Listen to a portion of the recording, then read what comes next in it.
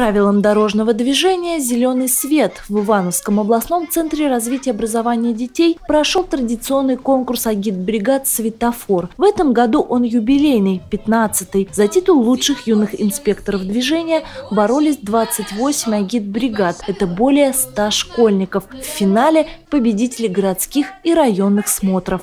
Во-первых, самое главное э, изменение в этом году. Раньше регламент был 5 минут выступления команд, сейчас регламент урезан на 3 минуты. То есть за 3 минуты им нужно показать самую суть, раскрыть проблему. Так вот, критерии оценки, э, во-первых, это полнота раскрытия темы, это артистичность, это посыл зрителям.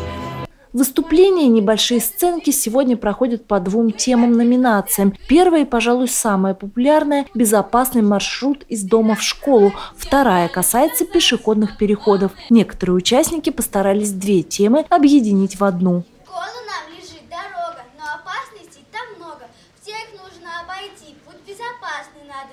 Идите, идите, ноги,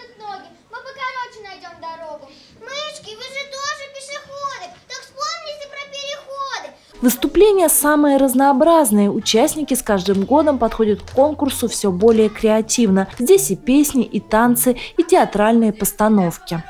Очень интересно смотреть, как многие команды показывают, как можно именно передавать правила дорожного движения с помощью обычных сценок. Ну, у нас сценка как бы сказочная, я играю роль гусляра. Ну, готовились мы, ну так, можно сказать, недели две. Ну, городских, вот сейчас уже выступаем на областных.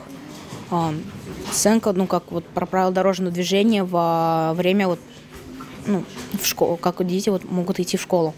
По итогам конкурса определят три команды победителя. Все участники без исключений получат почетные грамоты и сувениры. Мария Попова, Антон Осипов, РТВ Иваново.